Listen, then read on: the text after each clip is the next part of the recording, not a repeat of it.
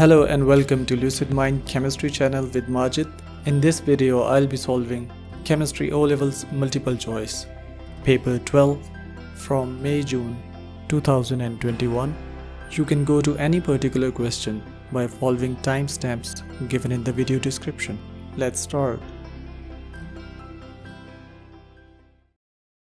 Question 1. The formula of magnesium oxide can be investigated by using the fact that when magnesium is heated it reacts with oxygen to form magnesium oxide. Which apparatus is used for this investigation? The formula can be obtained from masses of magnesium and oxygen that combine together.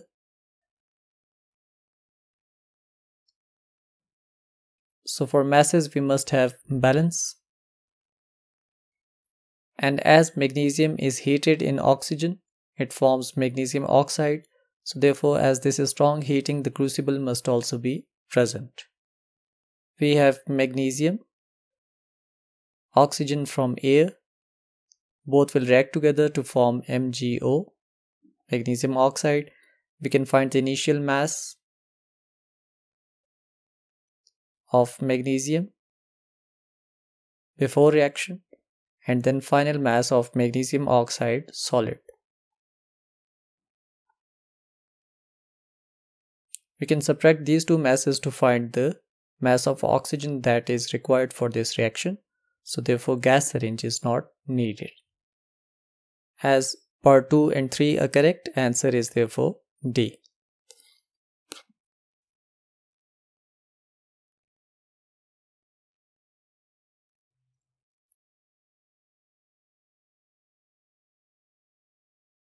Question 2. Which property of a liquid ester can be used to check its purity before using as a food flavoring? Now, purity of a liquid can be checked by its boiling point. You should always remember that pure substance always has fixed boiling point. Other properties like color, smell, and solubility, it does not show whether the substance is pure or impure. So the correct answer is part A.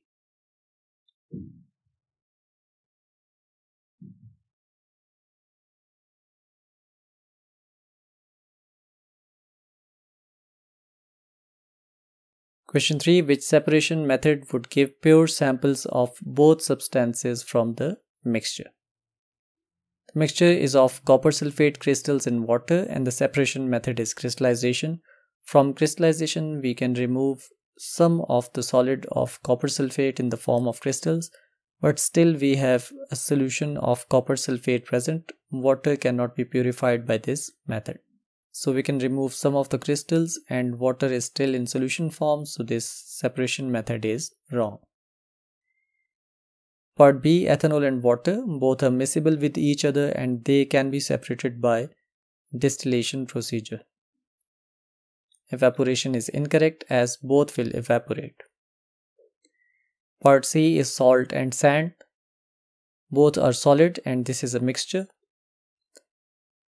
And solid mixture first must be dissolved in water, then we should filter and then we should evaporate to dryness. Only filtration is not enough. Part D is nitrogen and oxygen, both are gases. Both have different boiling points. So we can separate them on the basis of their boiling points which is called fractional distillation. And pure nitrogen and pure oxygen will be obtained by this process. Therefore correct answer is part D.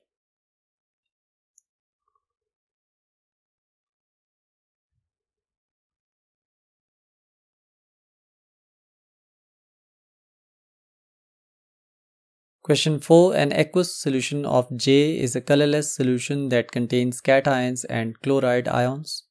Separate samples of the solution give a white precipitate with few drops of aqueous sodium hydroxide and with few drops of aqueous ammonia. Which statement about J is correct? As solution of J is colorless solution, it means it is not transition element because transition element form colored solutions. As iron plus 2 is transition so therefore it is not B. Part A, the cation in J must be aluminum plus 3. Now from the table of cations we can see that aluminum plus 3, lead plus 2 and zinc plus 2. All these three can give white precipitate with few drops of sodium hydroxide, aqueous and also white precipitate with few drops of aqueous ammonia. So we can say that the cation could be of aluminum plus 3, lead plus 2 or zinc plus 2. We cannot say that it must be aluminum plus 3. Part C when dilute nitric acid and aqueous barium nitrate are added to an aqueous solution of J, a white precipitate is formed. As we have chloride ions present in J, so we can write the reaction. We have barium nitrate we have nitric acid we have chloride ions now this barium can react with chloride to form barium chloride. And this is a soluble solution. It is not a white precipitate. So C is also incorrect. For D when dilute nitric acid and aqueous silver nitrate are added to an aqueous solution of J a white precipitate is formed. Again, we can write the equation. We have silver nitrate, AgNO3, nitric acid, HNO3. We have chloride ions. Now, silver ions can react with chloride ions to form white precipitate of silver chloride, which is insoluble.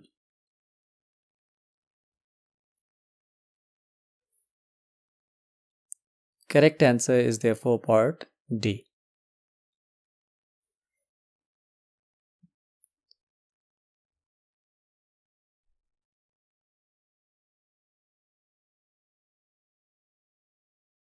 Question 5 Gas X has the following properties. First is that it is colorless, then it has no effect on either damp red or blue litmus papers. Third is no effect on lime water. Fourth is that it is flammable. What is gas X? In part A we have ammonia. Now ammonia is a colorless gas. So part 1 is correct for ammonia. Second is that ammonia can change red litmus paper to blue. So therefore second part is wrong for ammonia as ammonia is basic gas. We're going to move to part B. We have chlorine. Chlorine is not colorless. It is greenish yellow. So chlorine is also incorrect. Part C is hydrogen. Hydrogen is a colorless gas. So part 1 is true for hydrogen. It has no effect on red or blue litmus paper because it is neutral gas. So part 2 is also correct. Third is that it has no effect on lime water. This is also true for hydrogen. Fourth is that it is highly flammable gas. So all four options are correct for hydrogen. Part D is oxygen. Oxygen is colorless. It has no effect on litmus papers, no effect on lime water, but oxygen is not flammable. It only helps in burning. So all four options are correct for part C, which is hydrogen gas.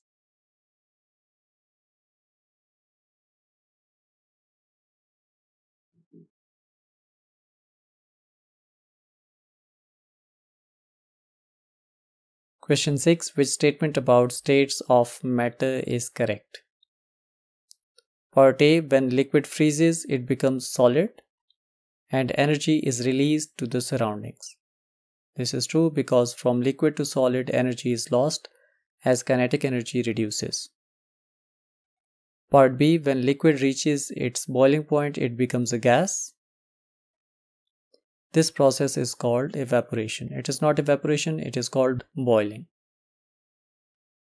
Part C When a solid changes directly to gas, the process is called sublimation. It is not condensation. Part D When a solid melts, the particles get further apart and have more energy. This is because kinetic energy is increased. As first option is correct, answer is A.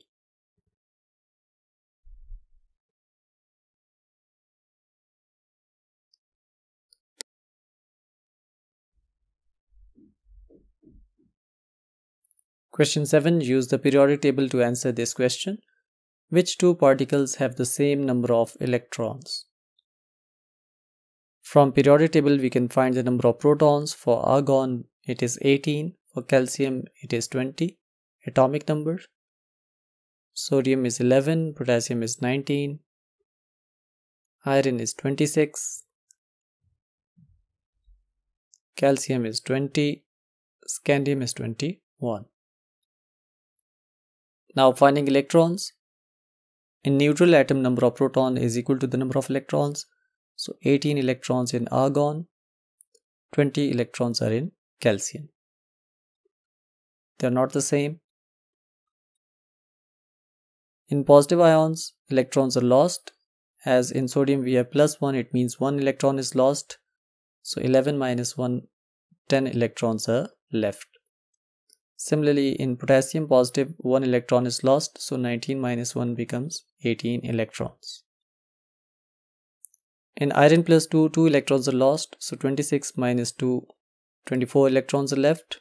In iron plus 3, 3 electrons are lost, so 26 minus 3 becomes 23 electrons. Still not equal.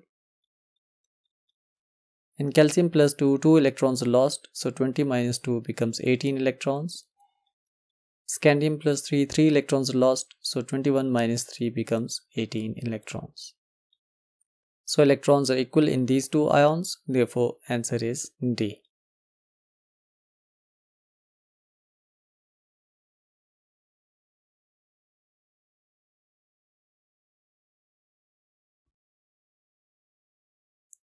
Question 8. The table shows data for particles W, X, Y and Z we have proton number, nucleon number, number of electrons, which statements are correct. First one is that W and X are isotopes of the same element. Now isotopes have same protons, different neutrons or different nucleons. Let's see. W has 6 protons. X also has 6 protons, so we have same number of protons and different number of nucleons. So therefore statement 1 is correct. In 2, Y is in group 5 of the periodic table. In Y we can see we have proton number 7 and electrons are also 7. In first shell we have 2 electrons, in second shell we have 5 electrons.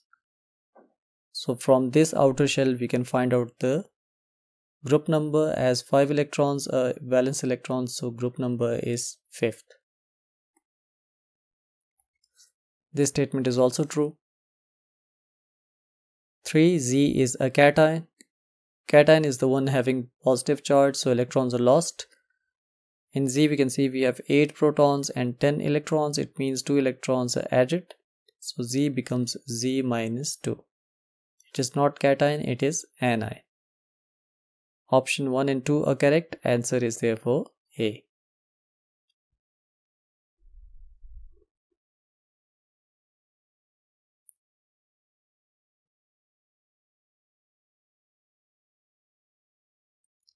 Question 9. Which dot and cross diagram correctly shows a molecule of ethene? Ethene is an alkene having double bond between two carbon atoms. We have CH2 double bond CH2. It means that two pairs of electrons are shared between these two carbon atoms. This is single pair, so it is incorrect. These are two pairs. This is correct. Again, this is one pair, which is wrong. These are two pairs, which is correct. Now second thing is that there must be two hydrogen atoms with first carbon and two hydrogen atoms with the second carbon. So we have two hydrogen atoms single bonded with first carbon, two hydrogen atoms single bonded with second carbon. So this one is correct. In part D, we can see we have three hydrogen atoms connected with first carbon atom, three hydrogen atoms connected with second carbon atom. This is wrong. Correct answer is therefore B.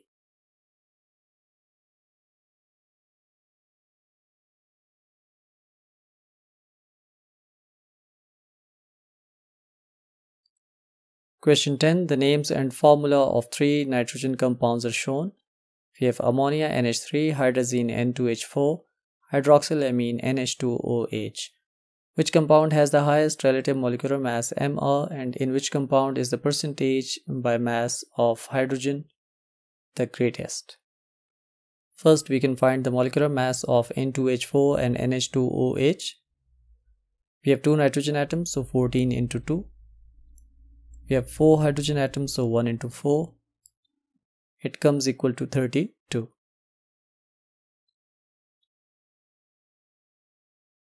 then we have NH2OH nitrogen is 14 we have 2 hydrogen atoms 1 oxygen 1 hydrogen. So the molecular mass is 33 so it is either C or D which has the highest relative molecular mass. Now let's find the percentage by mass of hydrogen. We have NH3 and N2H4. We can use the formula percentage by mass of hydrogen. It is equal to the atomic mass of hydrogen into number of atoms of hydrogen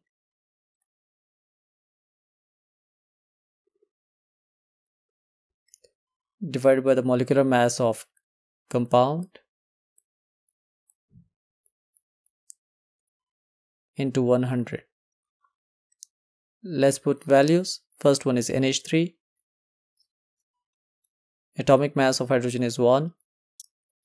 In NH3, number of atoms of hydrogen is 3. MR of NH3 is 14 for nitrogen, 3 for hydrogen, 17 in total. Into 100, it comes equal to 17.6%.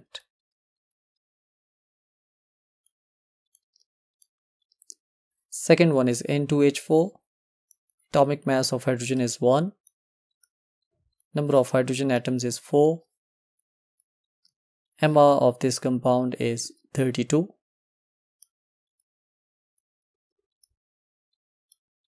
It comes equal to 12.5%.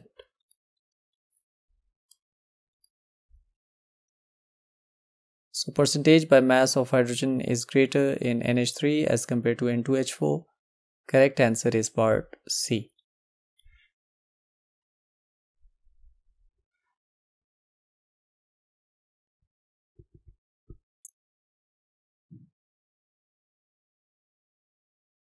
Question 11 The relative formula masses of four compounds are given. A student has a 1 gram sample of each compound, which sample contains the highest number of moles of oxygen atoms.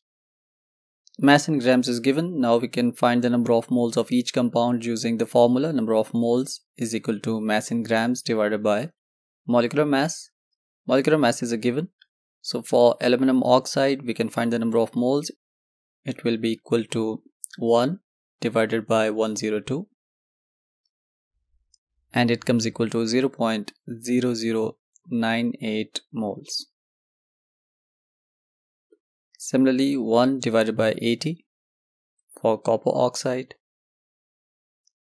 number of moles is equal to 0 0.0125 moles. We can do this for the next two. 1 divided by 98 0.0102 moles and last one is nitric acid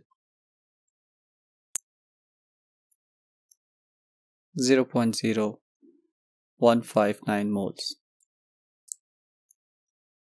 Now we can find the moles of oxygen atoms in each of the compound. First one is aluminum oxide and oxygen In 1 mole of aluminum oxide, we have 3 moles of oxygen atoms. So we can write 1 mole for this, 3 moles for oxygen. This is because in formula we have 3 oxygen atoms and 2 aluminum atoms. So in 1 mole of aluminum oxide, we have 2 moles of aluminum atoms and 3 moles of oxygen atoms. If 1 mole of aluminum oxide has 3 moles of oxygen, then 0.0098 moles of aluminum oxide will have x moles of oxygen atoms. By cross multiplying, we can find the value of x.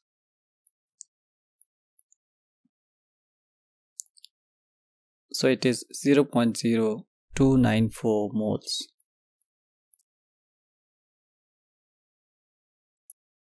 This is the moles of oxygen atom present in 1 gram of aluminum oxide. Similarly, for copper oxide, we can write the ratio.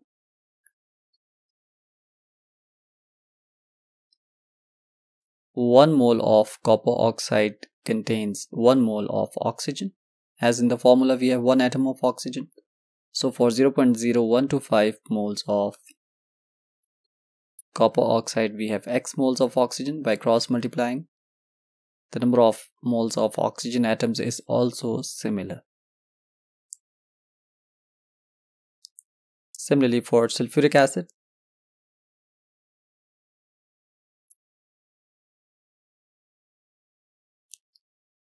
In the formula, we have 4 oxygen atoms, so therefore 1 mole of sulfuric acid has 4 moles of oxygen atoms. So 0.0102 will be x cross multiplying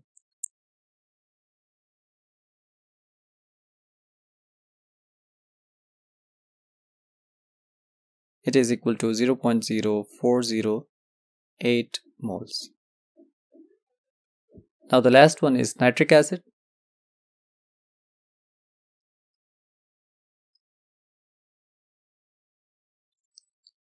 1 mole of nitric acid has 3 moles of oxygen atoms. So 0.0159 moles would have x moles.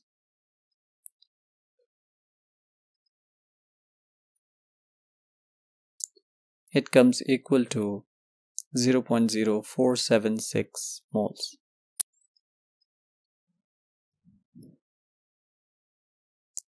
Among these we can see that highest value is this one therefore correct option is D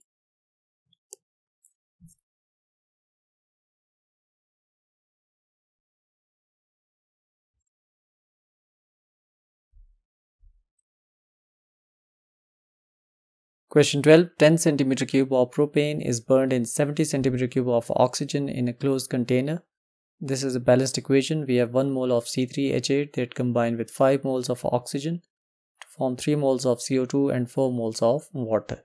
What is the total volume of gas present after the reaction? Assume all volumes of gases are measured at room temperature and pressure. We can write this equation. We have C3H8 oxygen carbon dioxide and water. Now according to balanced equation we have 1 mole of C3H8 that combine with 5 moles of oxygen to form 3 moles of CO2 and 4 moles of H2O. As H2O is liquid so therefore we are going to leave this one out because in the question it says the total volume of gas present not the liquid. Now we can write the initial volumes present before the chemical reaction. In the start, we had 10 centimeter cube of propane, so we can write 10 centimeter cube. 70 centimeter cube of oxygen was present. And there was no amount of product in the start of chemical reaction. Now according to the molar ratio, we can also find the ratio of volume. If 1 mole of C3H8 requires 5 moles of oxygen, then 1 volume of C3H8 will require 5 volumes of oxygen gas. So we have 10 centimeter cube of C3H8, so it would require 50 centimeter cube of oxygen gas according to this ratio 1 ratio 5. So 10 centimeter cube has reacted with 50 centimeter cube of oxygen and 20 centimeter cube of oxygen is left and as the molar ratio was 153 so we have 10 then for 5 we have 50 and then for 3 we must have 30 centimeter cube of oxygen that is formed so at the end of chemical reaction we have 0 centimeter cube of C3H8 as all of it has reacted. We have 20 centimeter cube of oxygen that is left from 70 centimeter cube 50 centimeter cube has reacted and 30 centimeter cube of carbon dioxide is formed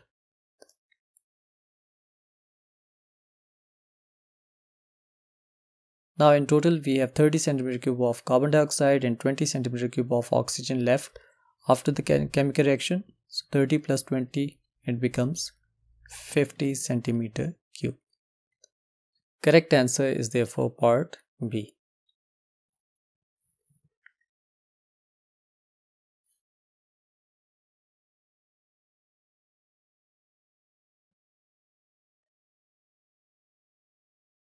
Question 13 When a mixture of sodium chloride and sodium hydrogen carbonate is heated, the reaction shown takes place. Sodium hydrogen carbonates convert into sodium carbonate, carbon dioxide, and water.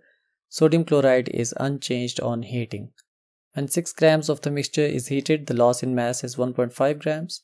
What is the percentage by mass of sodium hydrogen carbonate in the mixture? The molecular masses are given. We can rewrite this chemical equation we can also write sodium hydrogen carbonate. 2 moles. They decompose to form sodium carbonate. And these two they can be written as H2CO3 which is carbonic acid gas. Now in the question it says loss in mass is 1.5 grams. Now we can see these two are gases so therefore this is the lost mass or we can also say this is the lost mass. So it is 1.5 grams that is lost. From this mass we can find out the number of moles of sodium hydrogen carbonate and then the mass of sodium hydrogen carbonate that was present. As the mole ratio is 2 ratio 1 we have 2 moles of NaHCO3 and 1 mole of this combined thing H2CO3 so the ratio is 2 into 1 Let's first convert this mass into number of moles. The formula is moles is equal to mass in grams divided by molecular mass. We have hydrogen 2 for carbon 12 for 3 oxygen it will be 16 into 3 48 so 1.5 grams divided by the molecular mass which is 62 it comes equal to 0.0242 moles These are the moles of this product that is lost. Now from this lost moles we can find the moles of sodium hydrogen carbonate reacted as the ratio is 2 into 1 we can write NaHCO3 H2CO3 as initially we have 2 moles of NaHCO3 and 1 mole of H2CO3 now we have this much moles of H2CO3 that are lost So number of moles of NaHCO3 reacted will be X. Let's find it by cross multiplication.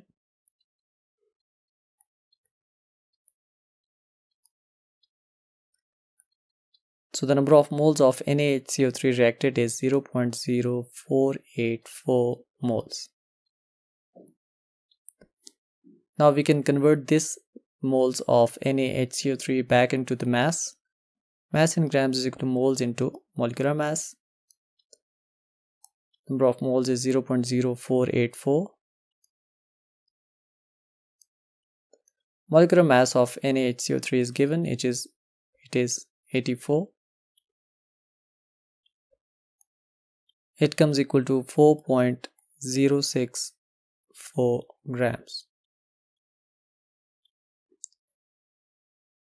Now we can find the percentage by mass of NaHCO3 in the mixture. So percentage by mass is equal to mass of NaHCO3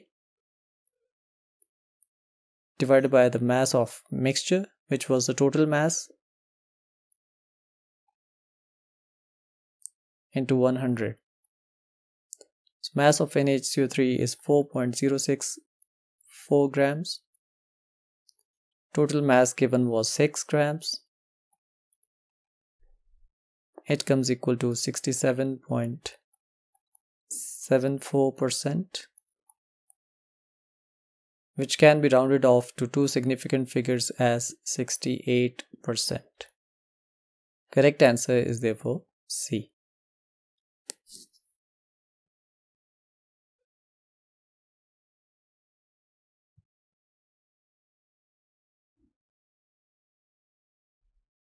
Question 14 Molten sodium chloride is electrolyzed. Which changes occur at the cathode? In molten sodium chloride, we have Na positive cations, Cl negative as anion. Now at cathode reduction takes place.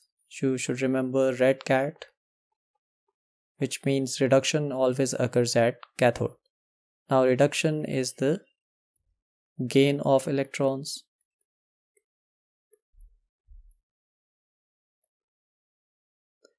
and electrons are always gained by cations. So sodium ions will gain electron and convert into sodium metal. From plus 1 it goes into 0 so therefore this is reduction. So in A we have sodium ions are oxidized. In B sodium ions are reduced. This is reduction as electrons are gained. Chloride ions are oxidized or reduced. Now chloride does not move towards the cathode as it is anion it will go to the anode. Correct answer is therefore B.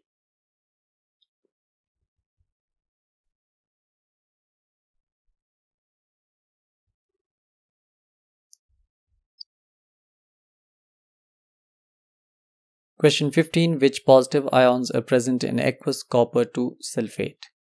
We have aqueous copper 2 sulfate which means we have water.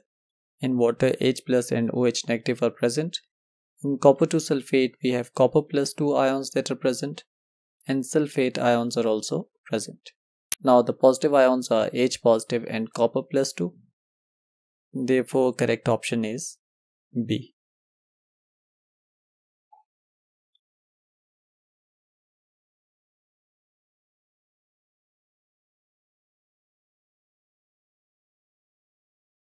Question 16 Natural gas is used as a source of energy. What is the main compound in natural gas? Now, natural gas is composed of methane, which is CH4. Ethane is C2H6. Ethene is C2H4. Methane is CH4. Methanol is alcohol, which is CH3 OH. Correct option is part C.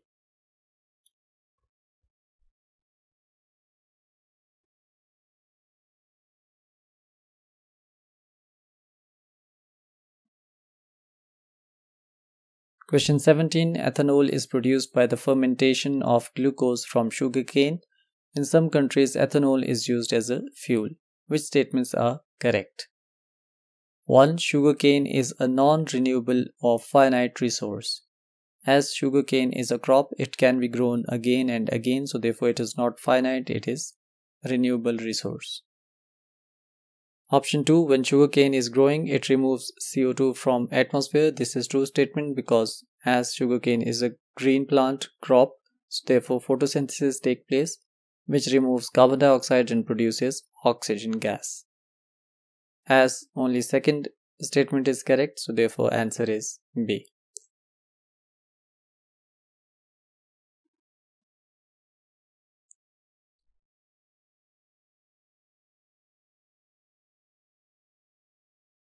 Question 18 Aqueous sodium thiosulfate reacts with hydrochloric acid. The rate of reaction increases if the concentration of both reactants is increased Nitrogen gas reacts with hydrogen gas. The rate of reaction increases if the pressure in the reaction vessel is increased. Which row correctly explains why the given change increases the rate of the reaction. First is aqueous sodium thiosulfate and hydrochloric acid. As the concentration is increased, it means that the number of molecules of the reactants are increased. So when number of molecules increase, there is more frequency of collisions between particles or in other words more successful collision will take place and more product will be formed.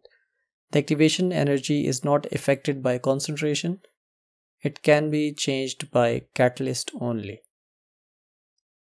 On second part we have nitrogen gas and hydrogen gas.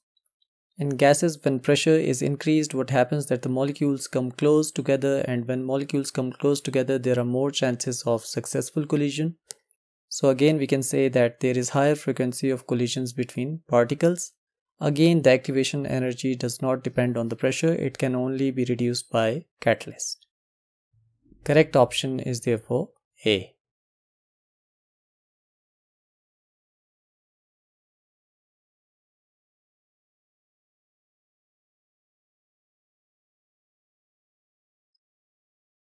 Question 19 Magnesium reacts with dilute sulfuric acid. The reaction is given. Magnesium forms magnesium sulfate along with hydrogen gas. Two experiments are carried out at 25 degrees centigrade. The temperature is same for both. In first experiment we have 24 grams of powdered magnesium. Again in second we have 24 grams of powdered magnesium reacted with 100 centimeter cube of 1 mole per decimeter cube sulfuric acid. And second one we have 50 centimeter cube of 2 mole per decimeter cube sulfuric acid. During each experiment, the volume of hydrogen is measured. The results are plotted on a graph, which graph is correct. We can see we have volume of hydrogen on y-axis and time on x-axis and the graph shows the reaction rate. This is experiment 1 which shows straight line and experiment 2 is shown by dotted line. As in the equation, we can see that 1 mole of magnesium interacts with 1 mole of sulfuric acid to form 1 mole of magnesium sulfate and 1 mole of hydrogen gas. As in both experiments, the mass of magnesium is same, so therefore number of moles of magnesium are same in both the experiment 1 and experiment 2. Let's find the number of moles of sulfuric acid in first experiment and in second experiment. We can use the formula number of moles is equal to concentration in mole per decimeter cube multiplied by volume in decimeter cube. Now volume is given in centimeter cube. This can be converted into decimeter cube by dividing by 1000. Similarly this one. So this one comes equal to 0.1 decimeter cube. And this one comes equal to 0.05 decimeter cube. Using formula, we can find the number of moles in first one. Number of moles is equal to concentration which is 1 into volume which is 0.1 so number of moles are 0.1 moles. In second one we have concentration equals to 2 volume equals 0.05 so number of moles come equal to 0.1 moles now we can see that the number of moles of sulfuric acid are same in both experiment. So as number of moles of magnesium and sulfuric acid are same, the number of moles of hydrogen formed will also be same in both experiments. So from the graphs we can see that in experiment 1 and 2 the number of moles are same so volume is same. In part C we can see that the volume is different which is incorrect. Again, indeed, the volume given is different, which is wrong. Second thing is the steepness of reaction. Now the steepness depends on the rate of chemical reaction. This one represents slower rate and this one represents faster rate. Let's see which experiment is faster and which one is slower. In experiment 1 we have powdered magnesium. In experiment 2 we also have powdered magnesium and concentration is same as the amount is same. But on dilute sulfuric acid side we can see that the concentration is 1 mole per decimeter cube while in second experiment the concentration is 2 moles per decimeter cube. Now rate of reaction does depend on the concentration. Higher the concentration faster will be the rate of chemical reaction. So therefore the reaction rate will be faster in experiment 2 as compared to experiment 1 This shows experiment 2, so therefore this must be faster than experiment 1. It is not slower, therefore correct option is part A.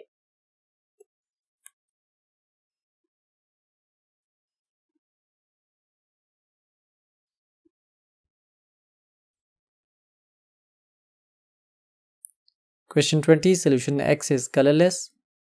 A few drops of aqueous potassium iodide solution are added to sample of X. No change is seen. Solution Y is colorless. Few drops of aqueous acidified potassium manganate 7 solution are added to sample of Y. The color of potassium manganate disappears. What can be deduced about X and Y from these two observations? We have to find out whether it is reducing agent or oxidizing agent. Potassium iodide is reducing agent.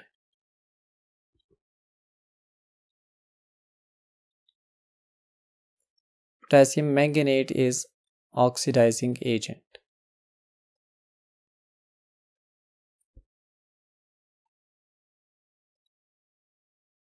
Now as we can see that X is not reduced by this reducing agent. So therefore we can say that X is not oxidizing agent.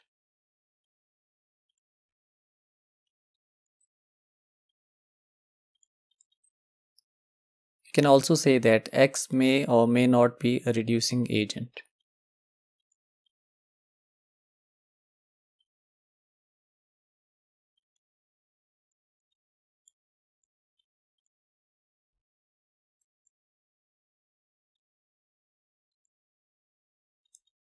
This is because reducing agent cannot react with another reducing agent. Or X may also be unreactive substance which is neither reacts with oxidizing agent nor reducing agent. Now in second reaction we can see that KMnO4 has changed the color of solution Y. So as potassium manganate is oxidizing agent so therefore solution Y must be reducing agent.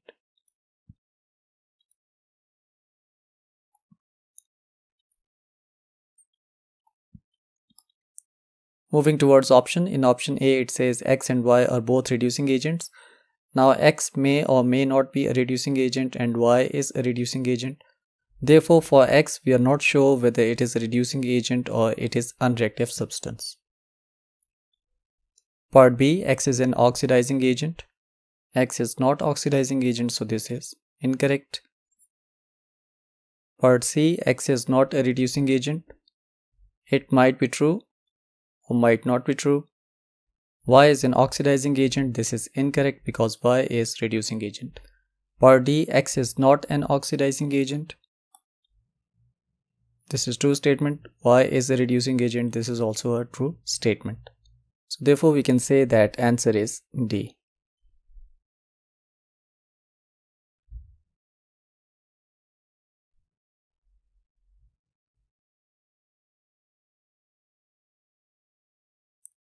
Question 21 Brown nitrogen dioxide reacts to form colorless dinitrogen tetraoxide in a reversible reaction. The forward reaction is exothermic. Which changes would make the equilibrium mixture darker in color? Now this side is brown so therefore this side is darker. This side is colorless so we can say it is lighter in color. Overall the reaction is exothermic it means enthalpy change is negative.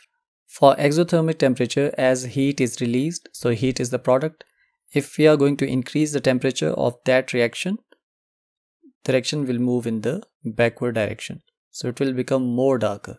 So increase in temperature will lead to a darker chemical reaction. For pressure, we can count the number of moles. We have two moles on the reactant side, one mole on the product side. So at higher pressure, it will move from more number of moles to less number of moles. At lower pressure, it will move from less number of moles to greater number of moles. So therefore pressure should be decreased in order to make it darker.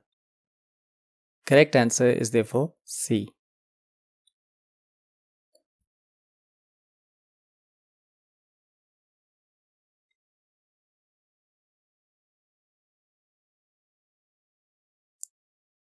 Question 22 Which row shows the pH values for 0.1 mole per decimeter cube solutions of ammonia, hydrochloric acid, sodium chloride and sodium hydroxide?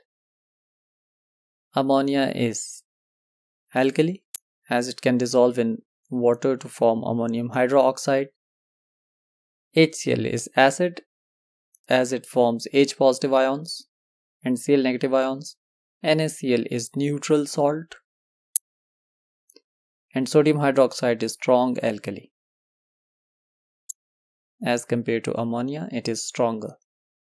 So we can say that as NaCl is neutral, its pH will be 7. As 7 pH represents neutral, alkali is strong, so therefore its pH should be 13, not 1. Acid is a strong acid, HCl is a strong acid, so therefore its pH will be nearer to the 0.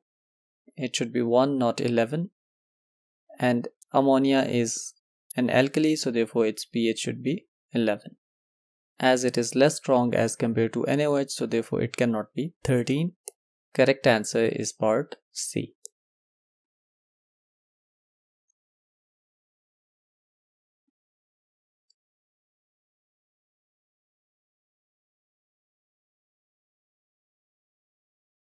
Question 23 Four test tubes are set up as shown.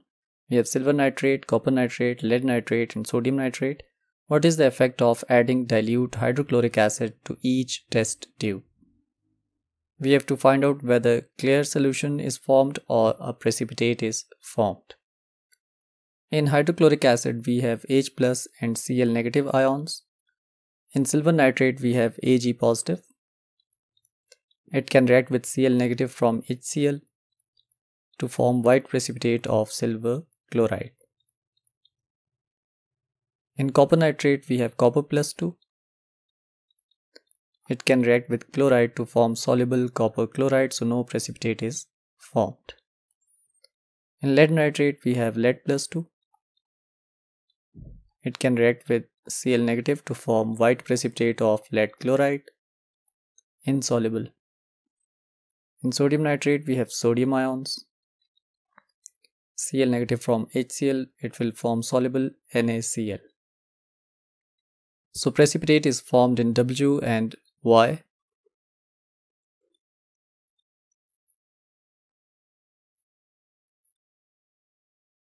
In X and Z, no precipitate is formed.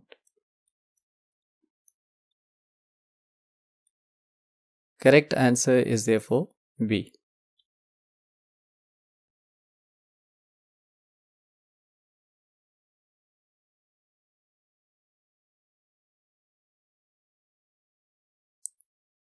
Question 24 Aqueous ammonia reacts with a compound to form a salt, ammonium phosphate. What type of reaction will ammonia undergo to form ammonium phosphate? Ammonium phosphate is salt. Aqueous ammonia, ammonia when dissolved in water. It can form ammonium hydroxide. Ammonium hydroxide is soluble so it will form ammonium ions and hydroxide ions.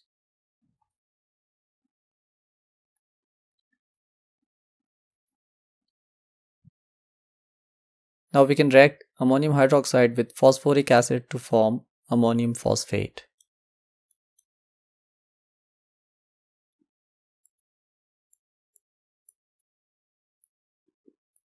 It will form salt, ammonium phosphate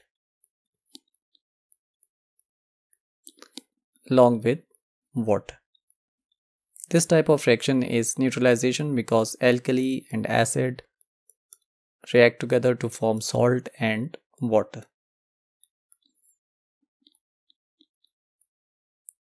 Correct option is therefore B.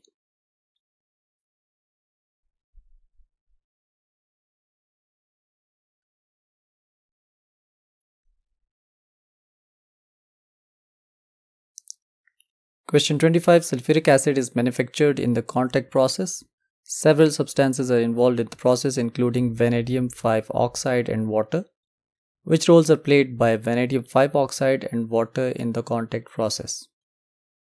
In contact process, what happens is that sulfur is combusted in the presence of oxygen to form sulfur dioxide. Sulfur dioxide is then oxidized in the presence of oxygen to form sulfur trioxide and it is a reversible reaction.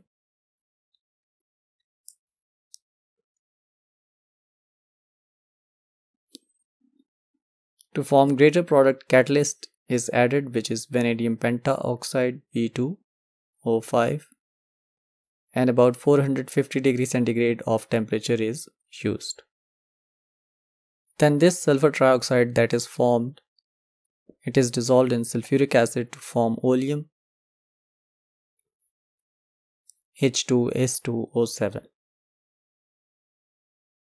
and this oleum is then diluted in the presence of water to form sulfuric acid.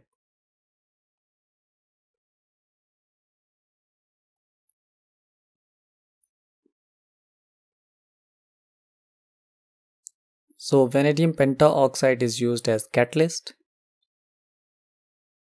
while water is used as a reactant.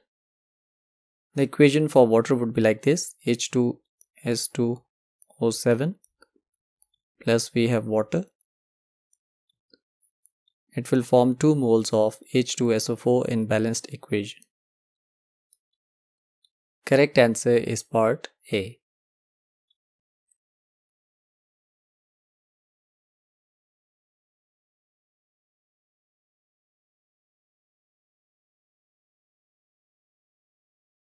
Question 26. Some properties which indicate the differences in elements are listed. We have metallic character, number of electron shells in an atom, number of protons in an atom, total number of electrons in an atom, which two properties increase across a period of the periodic table. In periodic table group 1, 2 and 3 consists of metals, while group 6, 7 and 8 consists of pure nonmetals. So therefore metallic character decreases along the period. So it does not increase. Second is the number of electron shells in an atom. As in a period, the number of electron shells are fixed. For example, in third period, we have sodium, magnesium, aluminum, silicon, phosphorus, sulfur. All these elements present in the third period of the periodic table have three shells. For example, the atomic number of sodium is 11. 2 electrons are present in first shell, 8 electrons are present in second shell, 1 electron is present in third shell. So we have 3 shells. For magnesium, the atomic number is 12. 2 electrons are present in first shell, then we have 8 electrons and then we have 2 electrons. So again 3 shells are present. Number of shells remain constant. Third is the number of protons in an atom. In sodium we have 11 protons, then we have 12 in magnesium, 13 in aluminum, 14 in silicon, 15 in phosphorus uh, and so on. So therefore number of protons do increase across the period. 4 is the total number of electrons in an atom. Now as the number of protons increase, the number of electrons also increase because in neutral elements the number of protons is equal to the number of electrons. Option 3 and 4 are correct. Answer is therefore D.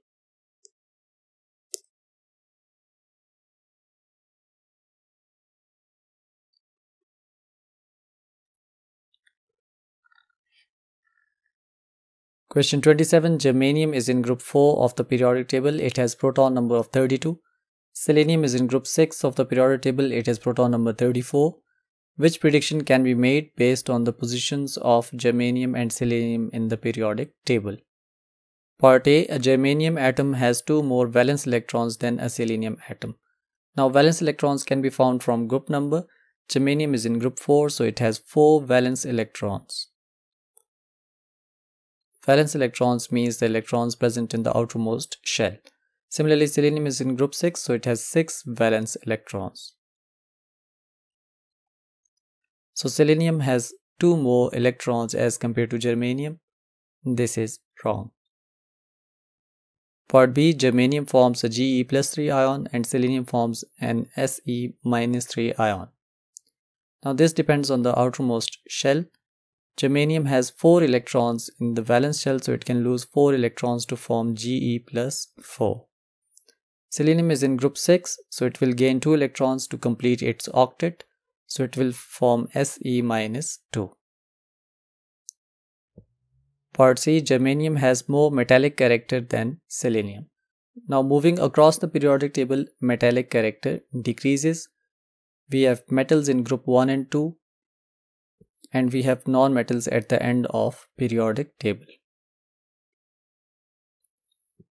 As selenium is in group 6 so therefore selenium has less metallic character than germanium so therefore this is true statement. Part D, germanium has similar properties to tellurium and selenium has similar properties to tin. Now germanium is a metalloid.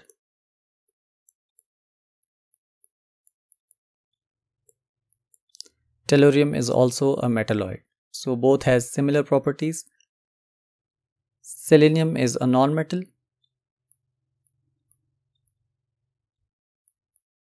While tin is a metal. So therefore, the properties of tin and selenium are not similar. Correct answer is therefore part C.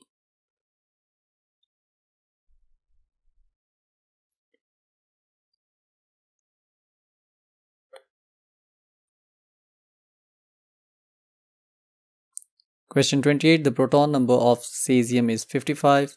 Compared with lithium, the melting point of cesium is dash and the reaction of cesium with water is how much vigorous. The number of valence electrons in cesium is as compared to lithium.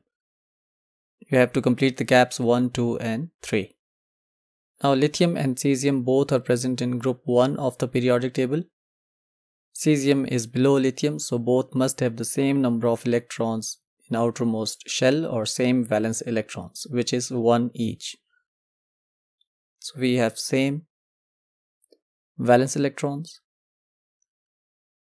Going down the group in group 1 the reactivity increases. This is because loss of electrons become easy. So cesium is more reactive as compared to lithium. So cesium with water is more vigorous as compared to lithium. Third thing is the melting point. Moving down in group 1, the melting point decreases.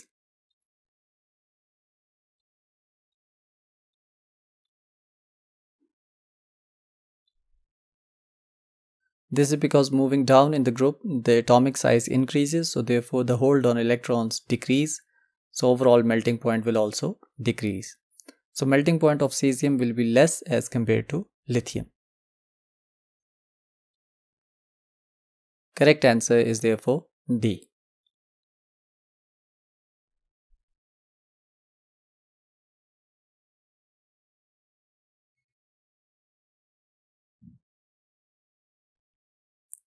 Question 29 Nickel is a transition element. Which properties does it have? First one is that it can act as a catalyst. This is true statement because transition metals can be used as catalyst and nickel is used as a catalyst in hydrogenation of alkenes.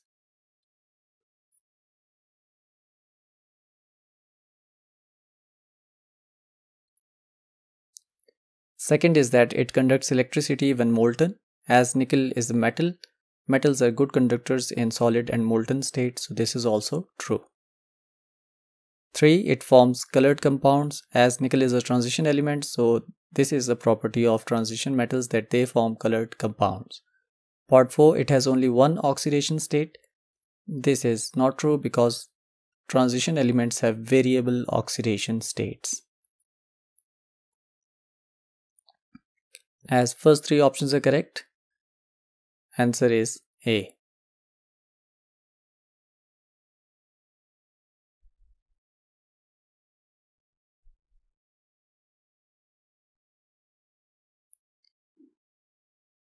Question 30 Which metal reacts with steam and can be extracted from its ore by reduction with carbon?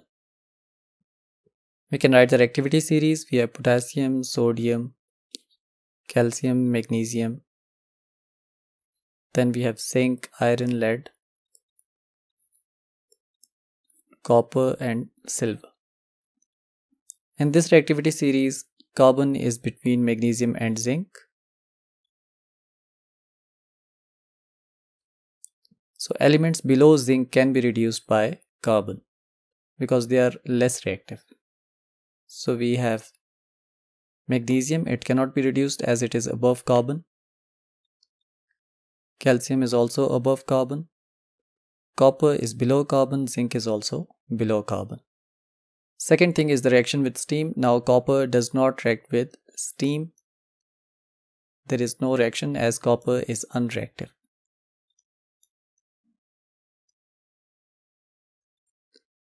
Zinc can react with water in the form of steam to form oxide and hydrogen gas.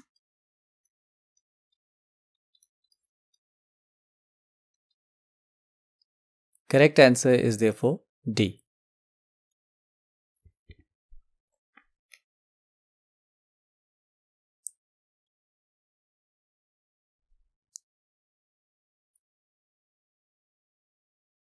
Question 31 Three correct statements about aluminum are listed. First one is that aluminum is the most common metal in earth crust. Second, it is costly to extract aluminum from its ore, bauxite. Third is that the world supply of bauxite is limited. Which statement explain why aluminum should be recycled?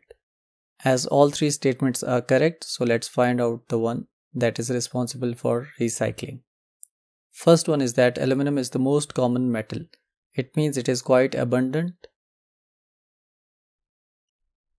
So when something is abundant, it means that there is no need for recycling. Second thing is the cost as it is costly to extract aluminum so therefore aluminum must be recycled to reduce the cost. Third is that the world supply of bauxite is limited. Now due to the limited supply of this ore, aluminum must be recycled. Correct statement are 2 and 3 therefore answer is B.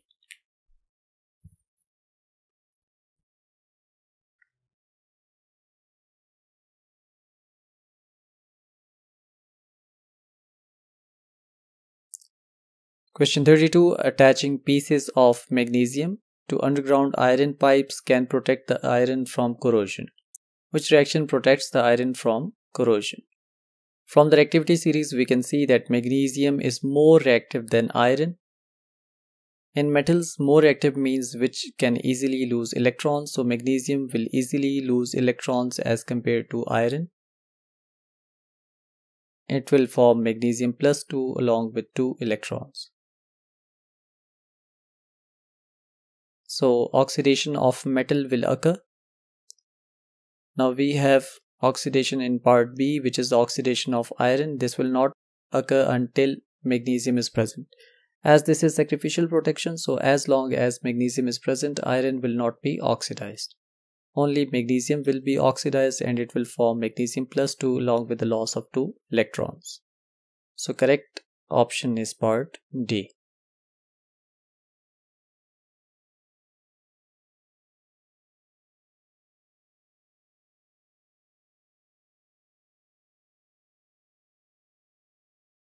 Question 33 Iron is extracted from its ore hematite in a blast furnace. The statement about this extraction process is correct. First thing is that air is blown into the blast furnace to react with carbon. This is true statement because carbon reacts with oxygen in air to form carbon dioxide. Part B At the bottom of a blast furnace, a layer of molten iron floats on top of a layer of molten slag. Now the density of iron is more than the density of slag, so therefore iron does not float. It is slag that floats. Part C Limestone is decomposed in the blast furnace to produce carbon monoxide. This is incorrect because limestone consists of calcium carbonate, which can be decomposed at higher temperature to form calcium oxide and carbon dioxide. Part D Silicon dioxide, an impurity in the ore, is basic oxide. Now silicon is a non-metal. and its oxide is acidic in nature, it is not basic. Correct option is therefore A.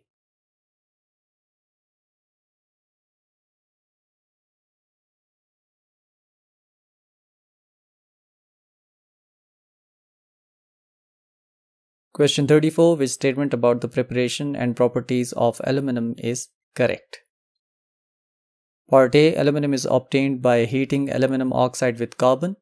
This is incorrect statement because aluminum is very reactive and it can only be reduced by electrolysis. Part B Aluminum is produced at the anode by electrolysis of aluminum oxide dissolved in molten cryolite.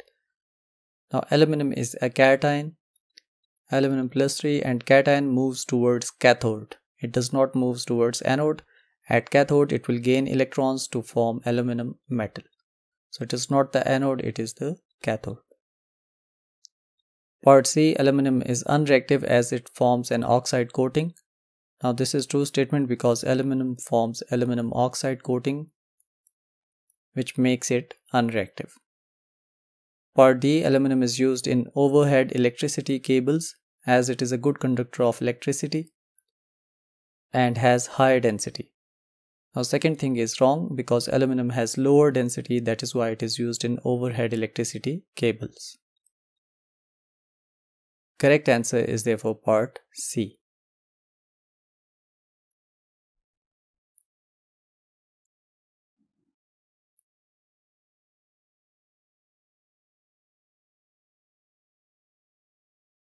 Question 35 How many moles of hydrogen chloride are formed when 1 mole of methane reacts with large excess of chlorine in sunlight? This is a free radical reaction in which hydrogen atoms from methane they are replaced by chlorine atoms.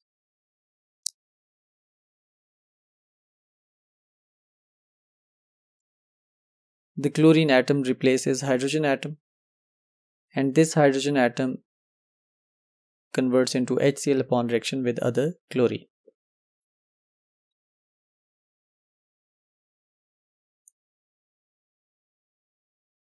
So now this hydrogen is replaced by this chlorine and HCl is formed as the product. When chlorine is in excess, then all hydrogen atoms will be converted into chlorine atoms so for that we can write the chemical equation. We have CH4, methane, chlorine, all hydrogen replaced by chlorine. So it will form CCl4 along with HCl. Now we can balance this equation. We have 4 hydrogen, so we can write 4 with HCl. Now we have 8 chlorine on the product side, so we can write 4 with Cl 2. From balanced equation we can see that 1 mole of CH4 it reacts with excess chlorine to form 4 moles of HCl. Correct answer is 4 moles.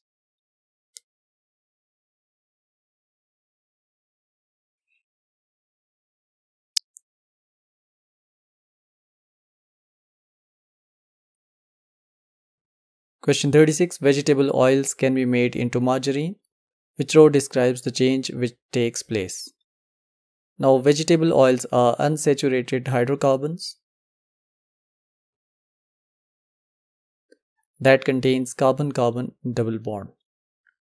Now, these unsaturated compounds are then converted into margarine, which is saturated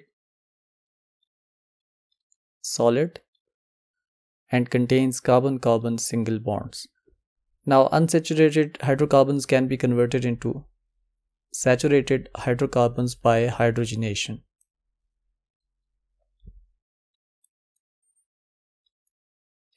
Hydrogen attaches itself with the double bonded carbon atoms and single bond is formed. Double bond converts into single covalent bond.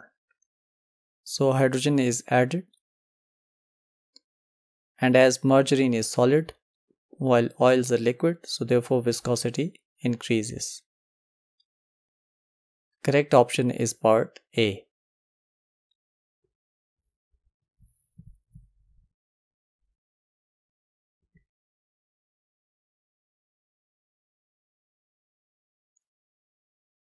Question 37 Which statements about alcohols are correct? 1. All alcohols contain the hydroxide ion OH negative. This is incorrect because OH negative is present in alkalis, for example NaOH, which dissolves to form Na positive and OH negative. Alcohols do not dissociate to form hydroxide ions. Part 2 Ethanol can be formed from ethene using a reaction catalyzed by yeast. Now, ethene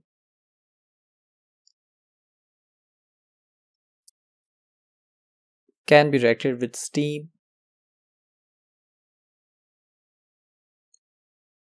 in the presence of phosphoric acid at 300 degrees centigrade and 660 atmosphere pressure to form ethanol. No yeast is used, so therefore this is wrong. Part 3 Methanol can be oxidized to methanoic acid. Methanol is an alcohol containing one carbon atom. Methanoic acid is carboxylic acid consisting of one carbon atom. So, as alcohol can be oxidized, we can write this CH3OH. This is one carbon alcohol which is methanol. It can be oxidized in the presence of potassium dichromate along with heat to form methanoic acid which is HCOOH along with water. So this is a true statement. Part 4 The alcohols X and Y shown are isomers. Isomers means having same formula but different structures. In first one we can see we have 4 carbon atoms so it is C4. We have 10 hydrogen atoms, 1 oxygen atom and OH is connected with second carbon. In Y we can see we have 4 carbon atoms, 10 hydrogen atoms, 1 oxygen atom and in this one OH is connected with the first carbon atom. So as we can see that the formula is same, structures are different so therefore this one is also true. Correct answer is part D.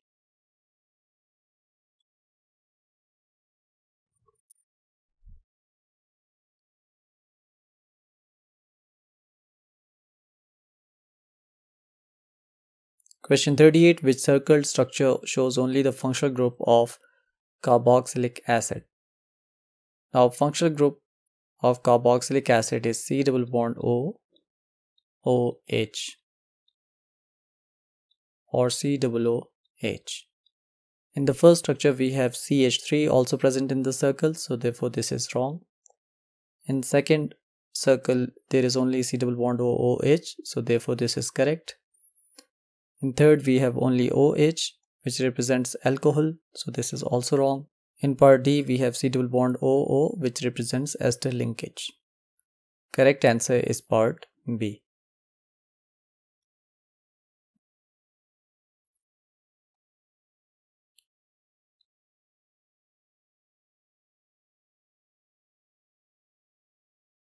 Question 39 Which statement about polymers is correct? Part A Nylon and terylene are both polyesters. Now this is incorrect because in nylon we have amide linkage. So therefore nylon is polyamide.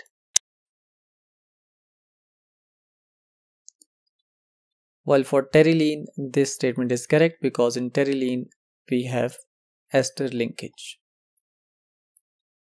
So terylene is polyester. Part B Proteins and nylon have the same monomer units. Now, proteins are made up of amino acids.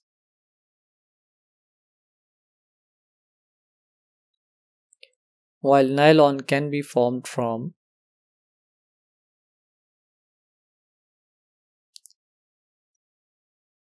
one six di amino hexane and hexane dioic acid.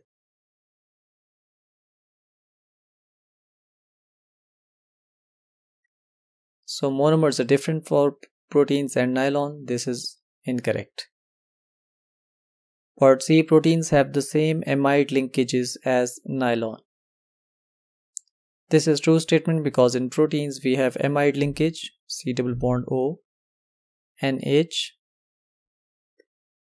In nylon we also have amide linkage C double bond O NH. Part D terylene and fats are esters but with different linkages. In terylene we have ester linkage In fats, we also have ester linkages. So as the linkage is same, so therefore this statement is wrong. Correct answer is part C.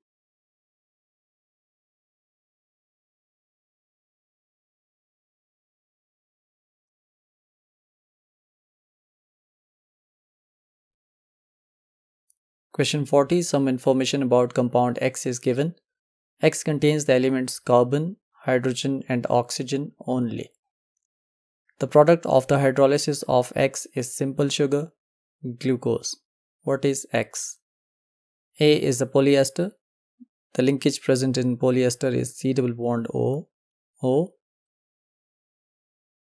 B is a protein. The linkage present in proteins is C double bond O and H. So nitrogen is also present in protein. C is nylon. The linkage present in nylon is similar to that of protein. Nitrogen is also a part, so therefore this is also wrong. D is starch. We have oxygen as the linkage in starch. Now let's do the hydrolysis. Polyester, it can be hydrolyzed to form carboxylic acid and alcohol because carboxylic acid and alcohol they combine together to form polyester. Now the product of hydrolysis must be simple sugar which is glucose. So therefore A is also incorrect. Now moving towards part D, we have starch. Starch can be hydrolyzed to form simple sugar called glucose. Correct answer is part D.